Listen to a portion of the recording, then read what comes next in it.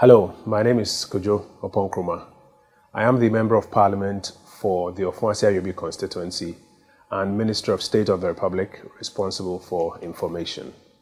I want to start by apologizing to you, my uh, good friends at the Cape Coast University, for my inability to be there in person. I really, really, really would have wished to be with you today for this um, engagement, but unfortunately, um, some conflicting diary issues have required that I be at an equally important event. So I am at this event in person and I'm with you here in Cape Coast in spirit. Um, I would take the next uh, 10 15 minutes or so to share uh, the thoughts that I would have shared with you if I were with you uh, in person as well, as best as I can through this virtual platform.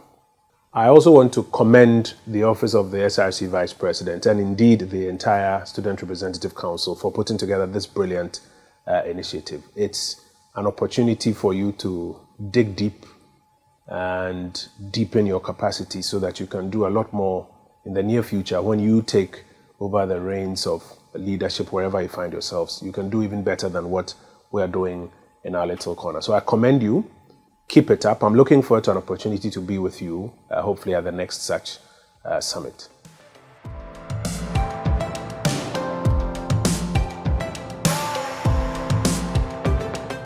Like you, I am a young person who had the opportunity of being in Cape Coast University between the years of 2001 and 2005.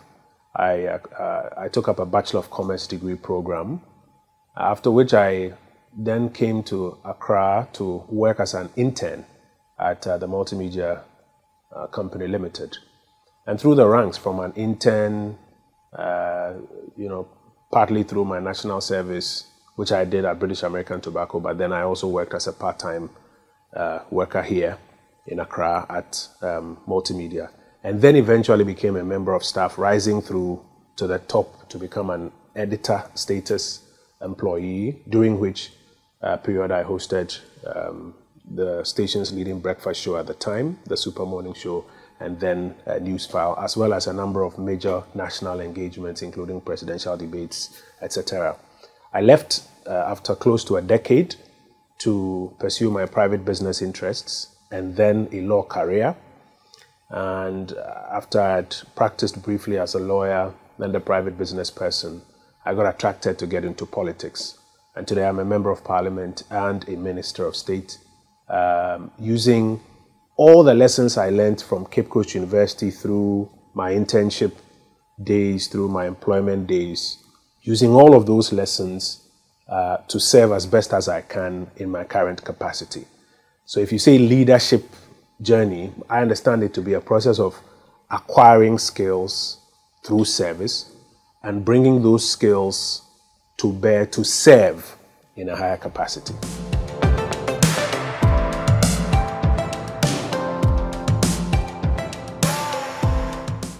For me personally, and I think for many other people, there are a number of challenges that you face on your journey of acquiring skills through service and bringing those skills to serve in higher office. One of the first challenges you would come across most likely is that most people will not believe in you. Majority of people will not believe that you have the capacity or the competencies to deliver on something. And as I mentioned, they start from serving and using those skills that you acquire through service to serve in higher capacity. That's what leadership is about. Now, in the beginning, when you are given an opportunity to serve at the lowest level, chances are the majority of people will not believe in your ability. I remember when I was given an opportunity to serve as an intern at uh, a radio station. There were people who were of the view that this guy has never been to journalism school. He doesn't qualify. He can't do it. Indeed, those who had been to journalism school were some of the people who thought I was not competent enough for the job. Um, then I remember when I got the opportunity to host uh, the breakfast show on Joy FM. Again, there were people who was like, this guy's never even been a bench for the morning show. He can't do it. Uh, then I remember when I got an opportunity to become a deputy minister or even a minister. There were a lot of people who have the view that he can't do it. You know, this guy's never been a politician before. He's never been a minister before. How is he going to do this? He can't do it. So one of the first things I realized is that a good number of people will not believe in you it is a challenge that you have to work to overcome as the years go by to prove yourself and to prove them wrong. Another challenge that you are very likely to face is that people will actually undermine you. There will be people who don't only just not believe in you, but they will make an active effort to ensure that their view that you don't qualify for that job is proven right. And so they will work to undermine you. Whatever resources must be made available to you through them, some will withhold from you. Whatever opportunities must be given to you to prove yourself, some because they don't believe in you, as I mentioned earlier, will just you know, do their very best to sideline you. And then there are those who would work to create an ecosystem that doesn't believe in you. So chances are that apart from people not believing in you, you also find people who actively work to undermine even your best of efforts or to prove that your best of efforts are not good enough. I recall a funny incident when uh, on one of my most difficult shows at um, Joy FM when uh, the show had gone terribly bad at a time when many people didn't believe in me. I had listeners and then I had colleagues who were saying, if this is how Komla Dumor had done the show, you think the show would have been here for you to come and host This boy, we told you you can't do the show. You have to pack him somewhere let's find somebody else to do it. And there'll be active efforts, not just to not believe in you, but also to undermine you uh, sometimes. A third challenge that I think um, you are likely to face is that you will get very little help. Sometimes I hear young people who say, Nobody's helping me, I'm doing my best, nobody's helping me, and nobody's giving me. You should actually expect that you'll get very little help. Not only will people not believe in you, not only will some work to undermine you, but the help that you think the ecosystem owes you and the society owes you and people should give you to carry you to the next level will most likely not come. Those are some of the challenges, first line challenges that you face. That comes in addition to your own life challenges. Sometimes financial challenges back home. For those of you who are, you know, advanced in age, married, in a relationship, etc. Sometimes you have family commitments, sometimes you have work commitments, other things that also then work to take away the, the time and the opportunity and resources that you need to um, deliver on that leadership potential that you have.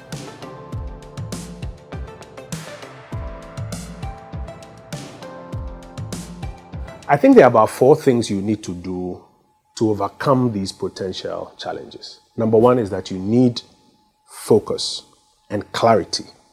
That this is the duty I have been called to do. This is the service I have been called to offer. And I'm going to do my very best to deliver it, no matter the distractions and the storms around. Number one is that you need that clarity and focus. I've been given the opportunity to serve as a porter in this group, to serve as an organizer in this group, as a secretary in this group, as a cleaner in this group, as the driver in this group, as the vice uh, president in this group. It's an opportunity to serve and prove yourself. No matter what anybody thinks, you need clarity and focus that this is the job I have been given as a personal assistant.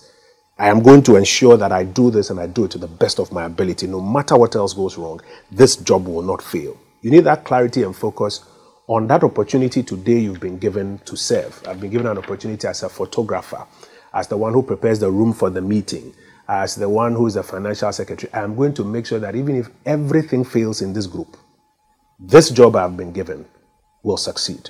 That's number one.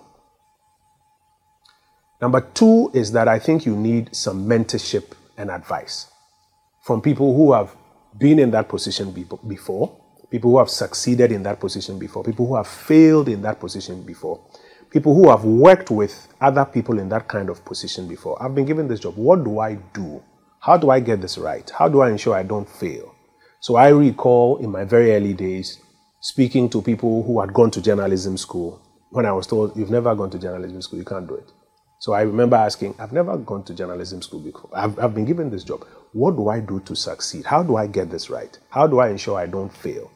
I would speak to people who were trained journalists, practicing journalists, people who had succeeded at it before, people who had failed before. What made you fail?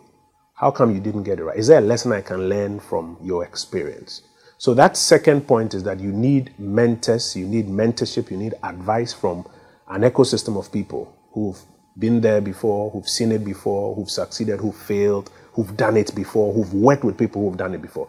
It gives you perspective and key lessons on how to go about it. Now, while at that, you need to be clear in your mind that you need people who will give you advice that will be useful to you than people who will reinforce the view that, Master, forget it, you can't do it. You need some positivists because remember, I told you that chances are that a lot of people don't believe in you, won't give you the opportunity. So when looking for mentorship and advice, be clear to look for people who will feed a certain positive edge in you, not people who will reinforce the negatives. Number three, you need grit. Grit.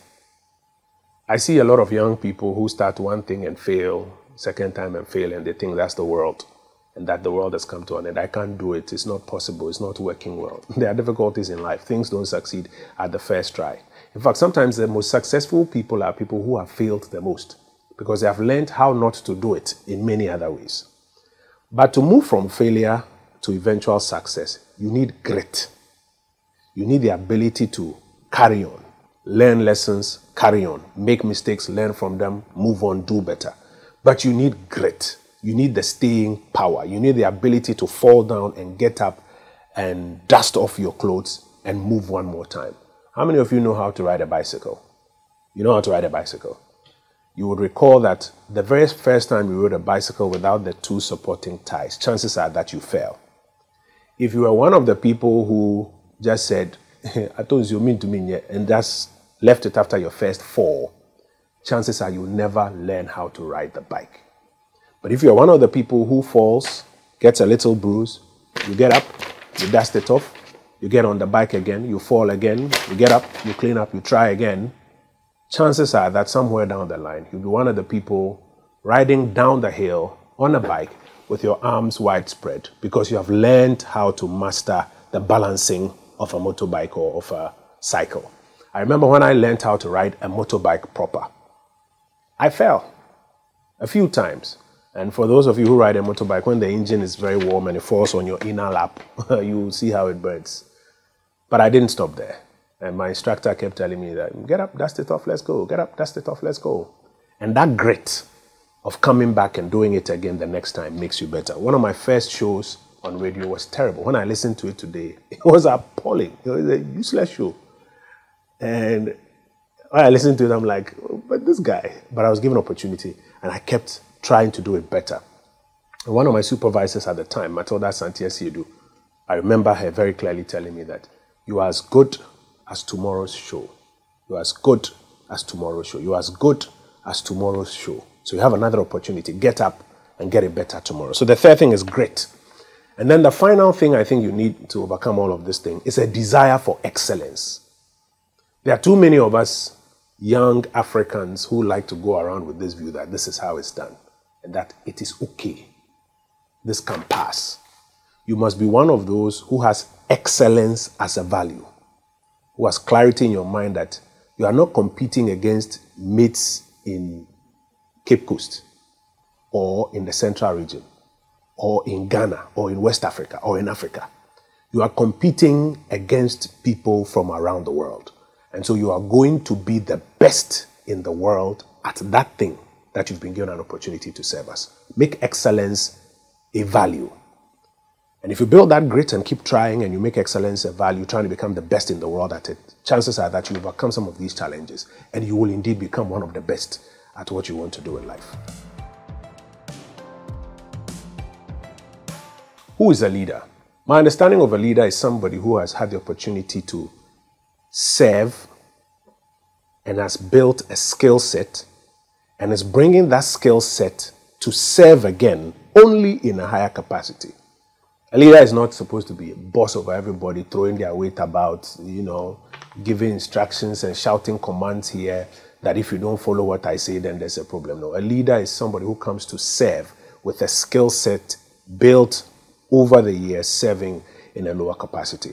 And that kind of person, when he becomes a leader, knows how it is to serve at a lower level, knows how it is to see things in difficulty at a lower level and therefore has an opportunity to try and make things easier for people who are down the value chain and has an opportunity to use that office to deliver value to people at the end.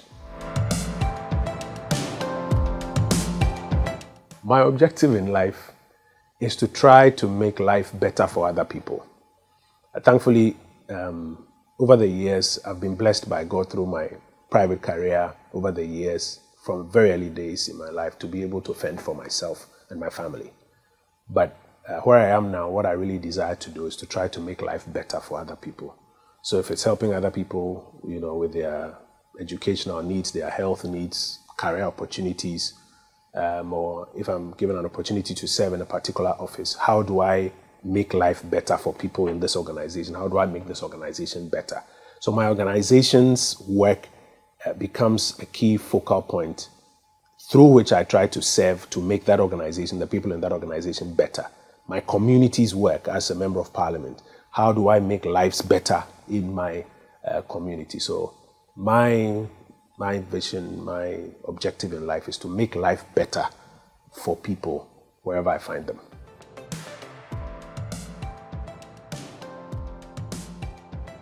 One of the tricks to identify opportunities to connect your personal skill set to the need around. If your skill set does not connect to the need, chances are that it is not an opportunity for you.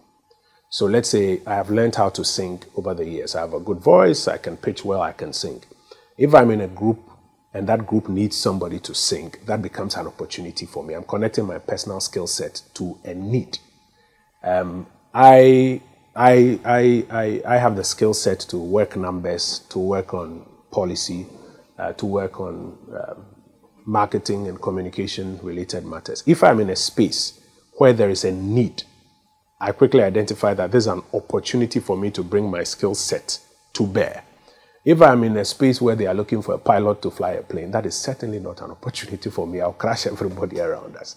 So I connect my skill set to the need around me and I sense that as an opportunity. And I think you can do the same too.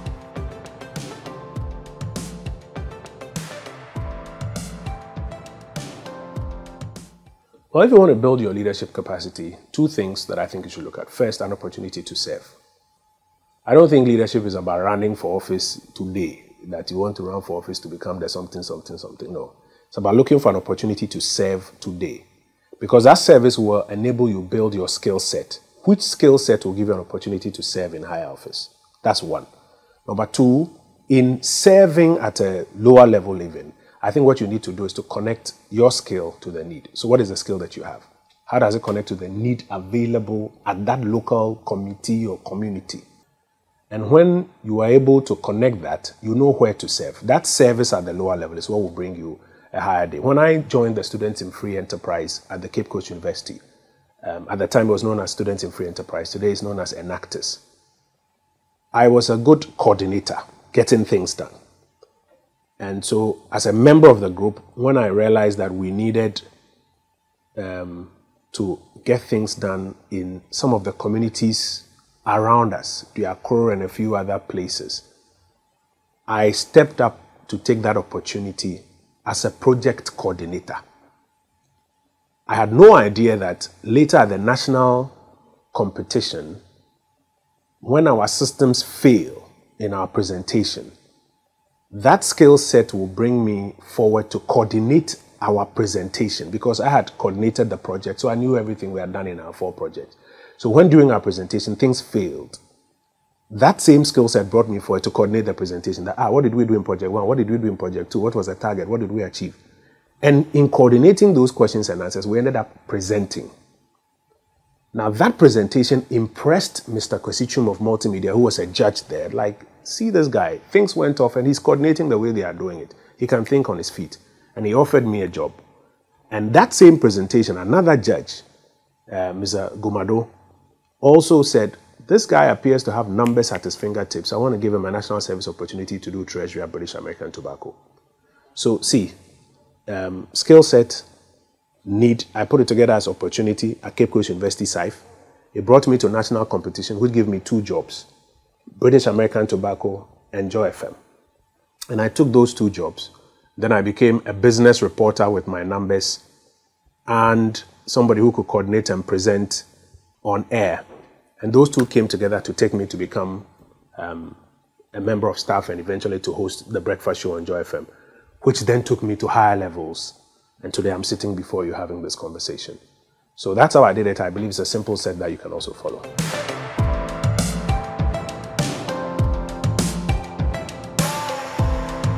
I think one of the biggest things society needs to do for the youth is to give young people an opportunity. Give young people an opportunity. And in flip side or in reverse, young people take the opportunity to serve. I hear a lot of people say, is um, whom you know, whom you know. I don't think it's whom you know. I think it's who knows you. Hear me again, it's who knows you. And not just who knows you as a human being, but who knows what you can do. So we are in church. There's a little church group. If you take up a role to serve in the group as an assistant organizer or as secretary, and you do it with diligence, grit, and excellence, if I'm a member of that group, I will know you, I will spot you. And tomorrow, when we are looking for people to do something, that's why I say, there's this guy in my church group who does this for us, and he's so good. We should give him this opportunity. So it's about who knows you or who knows what you can do. That's what today's world is becoming. Let me be very honest with you. But that also means that you should take up the opportunity for service. Young man, young woman in a group, when an opportunity for service comes, don't say you are, you know, way above it. Take it. There's a young girl I saw in my constituency somewhere around 2020. We were campaigning. And I saw this young lady who was with us campaigning. She was standing somewhere as we were campaigning she noticed an old woman coming from the farm, and the old man was carrying stuff. And she left where we were, walked across, went to, I was standing on the podium still speaking, went to where the old woman was, and took the old woman's stuff, and went across with her to her house. I just said, this young girl, this, uh, and apparently this girl, I didn't know at the time, but she was a first year university student, actually from Cape Coast University. I didn't know. I was like, hey, which young girl is so down to earth will leave, you know, what she's doing, go and carry some woman's stuff and carry it home and come back and stand there? That's really impressive. So later, I asked one of the team members, find out who that young lady is. Then they found out who she was. And I got to know her. Student, apparently needed a bit of help, needed a laptop, support with education, etc. But she had demonstrated service. So I was like, Find me that young lady. Let's support her. Today, I think she's a beneficiary of my scholarship program. We bought her a laptop. We're giving her opportunity. So young people, take up the opportunity to serve. And I also ask that society should give young people an opportunity.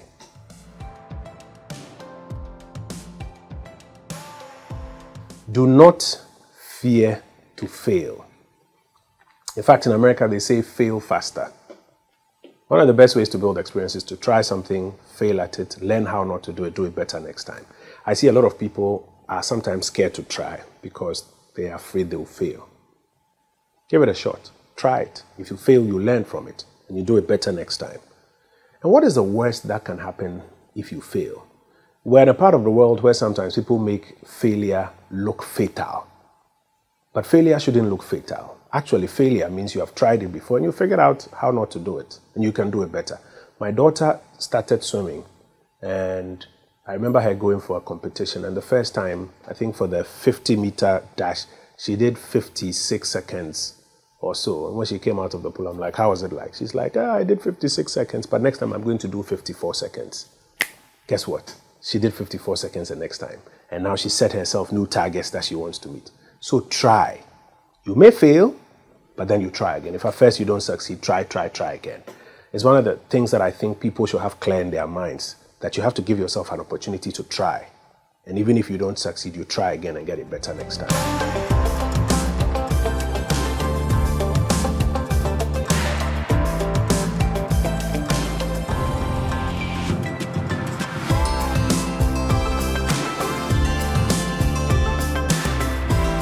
So I think that it's a brilliant idea for young people to work towards unlocking their leadership potential. The way to do that is service at the lower level. Find what skill set you have, what need is available at the lower level, take it as an opportunity, provide service there, and your service will carry you through. Clap for him.